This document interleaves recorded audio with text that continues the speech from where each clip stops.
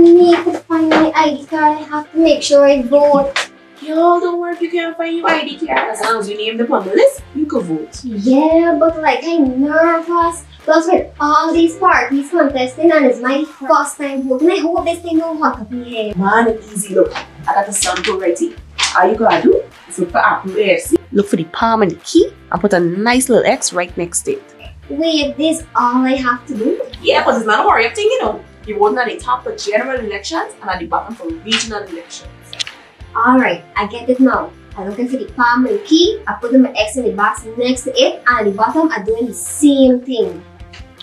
Yeah, but make sure you don't write nowhere else on this paper and ensure your X don't touch the box. Part second, vote APNU AFC. And let's continue moving forward together. That was a paid political ad.